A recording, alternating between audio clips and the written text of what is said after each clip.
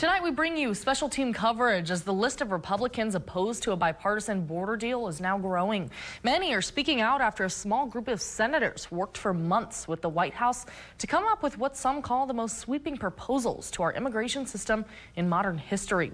National correspondent Kristine Frazao is laying out the debate taking shape on Capitol Hill. But first, NBC Montana's investigative reporter Bowen West reached out to U.S. Senator Jon Tester and Steve Daines to get their reactions to the bill.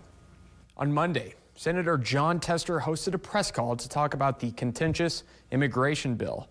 Tester said that this is a compromise for every party.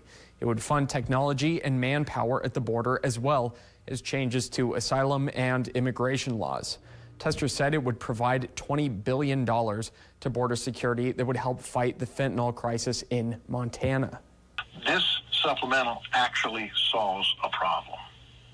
That doesn't happen very often. When asked if he believes this will get passed, he said yes. We got to get it on the floor, and then hopefully we get 60 votes. I do think we have them, but look, I'm not very good pundit. My crystal ball isn't always clear, but, but I do believe we have 60 votes.